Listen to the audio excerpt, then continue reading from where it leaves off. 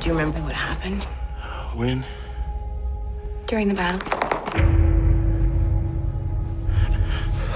Some of the actors involved in this film uh, play themselves as soldiers that actually were at the Battle of Kamdesh, and I was wondering if uh, if why you made that decision to have them play themselves, and what was it like for them? Was it an ordeal to relive it? we had one guy who was actually fought in the actual battle played himself. His name was daniel rodriguez and he was a dude that was in the mortar pit.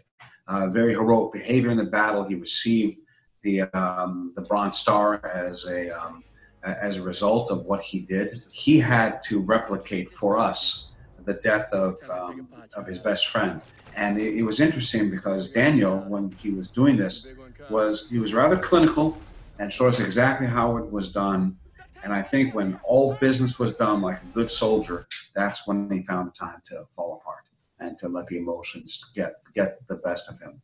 You're a West Point grad and a former Army officer. How does your background make you uniquely qualified to tell this story? One of the ways that I'm qualified to tell the story is by how much it means to me.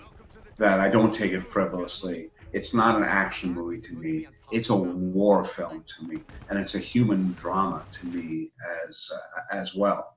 This uh, film is about a specific military incident. Would you say that it's apolitical? The base was set up during the Bush administration, ended during the Obama administration. This movie is neutral. It's about the American soldier.